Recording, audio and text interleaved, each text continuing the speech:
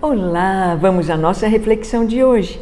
O título é Quando Vieres no Teu Reino, baseado no texto de Lucas, capítulo 23, do verso 25 ao 47, quando nos conta sobre a crucificação de Jesus e aqueles ladrões, um à sua direita, outro à sua esquerda, condenados junto com o Senhor. No versículo 42 de Lucas 23, nós lemos: E acrescentou: Jesus, lembra-te de mim quando vieres no teu reino. A crucificação dos condenados por Roma era algo desumano e muito cruel.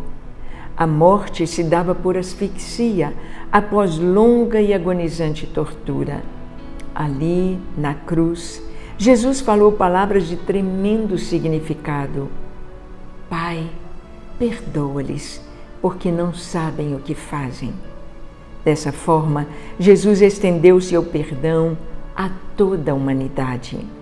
Ele não tem por culpados de sua morte os romanos que o pregaram ou os judeus que o entregaram à cruz.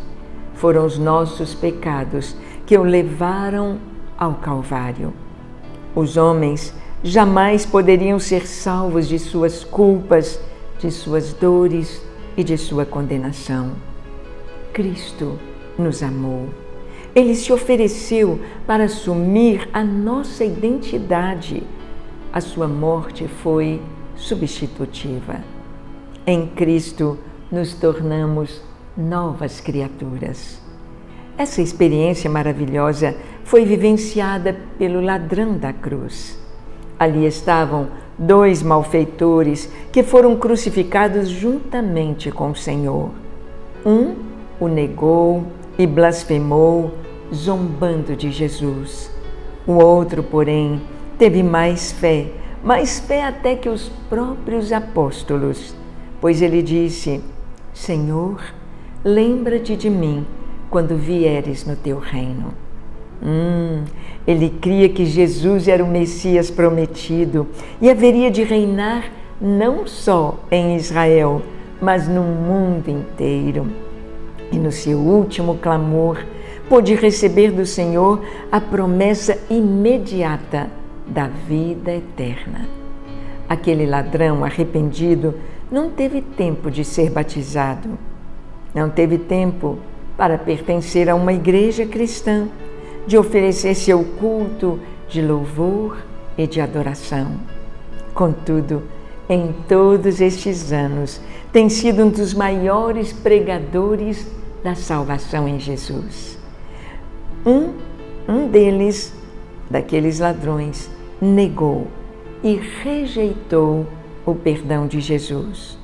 O outro o aceitou e foi transformado. Em qual das duas posições você está? Você tem pregado também este amor? Um pequeno verso. Não há amor maior do que o teu, Jesus. Ninguém ousaria morrer pelos maus e ingratos, mas teu sangue derramado ali nos fez perdoados. E podemos entrar em tua casa, na luz pois tua vida nos deste, morrendo na cruz. Vamos orar. Pai, não há presente maior do que este que nos deste, a salvação em Cristo. O preço foi alto demais, porque a bênção é a maior e mais importante dádiva para o coração humano. Obrigado, Senhor. Amém. Que lindo! podemos ver essa história real, essa história verdadeira que aconteceu ali no Calvário, quando aquele homem condenado à morte encontrou a salvação, encontrou o paraíso, encontrou a promessa, encontrou Jesus, encontrou e creu nele, em Jesus, e recebeu a vida eterna.